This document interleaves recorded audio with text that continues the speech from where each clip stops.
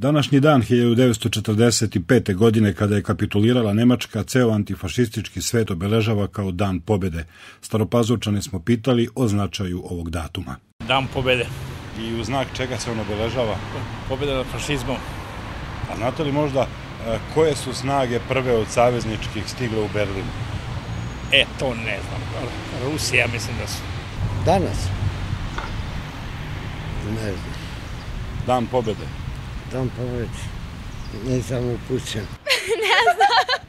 Dan pobede je značajan i za nas i za ceo svet. Rusija nas je oslobodila zajedno sa našim ljudima, borcima, tako da ne smemo to da zaboravimo, da se to ne ponovi. Znate li možda koje su savezničke snage prve ušle u Berlin?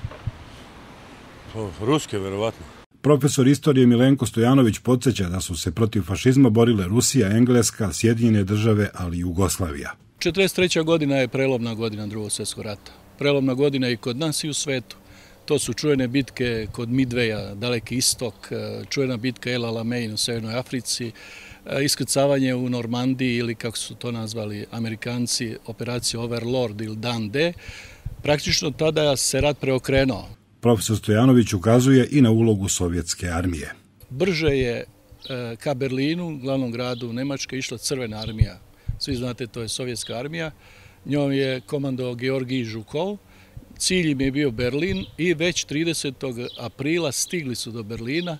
Umeđu jednom, Amerikanci su stigli na reku Labu, eh, Englezi na reku Labu. Eh, cilj je bio da što pre neko od njih stigne do Berlina. Crvena armija eto, je prva uspjela i postavila zastavu Crvene armije, odnosno Sovjetskog savjeza, na nemački parlament Reichstag.